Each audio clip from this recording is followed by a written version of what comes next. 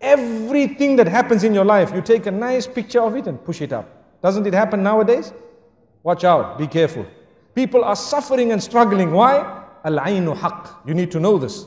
The evil eye is the truth. The hadith says, you are inviting people to have the evil eye on you. Look what I ate. Wallahi, I've seen people's profiles. Every meal, they change the picture. Why? Because I had turkey. Wow. Did you have turkey? They say, I had this lasagna. And you, you need to know how to pronounce it as well and how to spell it as well.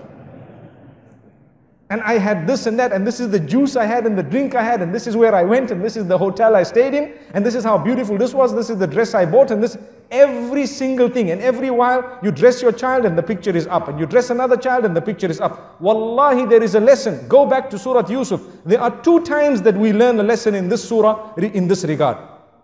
One was when the brothers were all entering into that particular uh, palace or into the, the ministries uh, in order to get their food, the father says, enter separately. And one of the reasons mentioned in the books of tafsir is so that the people's eye does not catch you all and does not affect you with the evil eye. That was one of the lessons that we learned. And here as well, the father says, لا تقصص رؤياك على إخوتك. Do not relate this dream to your brothers. Do not relate it to your brothers. Why? Because they may plot against you. Out of what? It is clear out of jealousy. And the hadith says, Inna al-hasad ya'kulul hasanat kama ta'kulun narul hatab. Indeed, jealousy would eat away at your good deeds in the same way that fire would eat a dry log. And we know this. So, my brothers and sisters, think for a moment before you upload your pictures and before you actually put your food and everything else. You know, we are not saying that uh, you should divorce yourself completely from technology, but what we are saying Make good use of it. Make the best use of it, but do not use it to destroy your own self.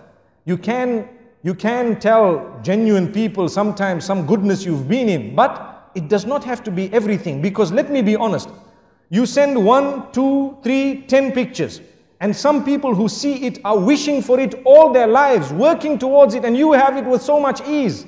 Do you think they will be able to digest it? There will come a stage in their lives when they start feeling something towards you. Look at this person, they have heaven on earth and they don't know the problems you have in, the, in, in this dunya. Why don't we put up, pro well, I'm not encouraging it, but I'm saying, imagine if we were to put up profiles about the bad things that happened in our lives all the time.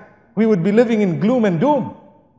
But man is such by nature, he wants a good picture of himself out. He wants a good picture, everyone. We want a good image. So there's no harm in portraying that good image, but it does not need to be the finer details of your life. Leave that between you and your loved ones and those who shared it. And sometimes if you really want, perhaps once in a while, you may want to share it with a selected few. May Allah subhanahu wa ta'ala grant us a powerful and a beautiful lesson.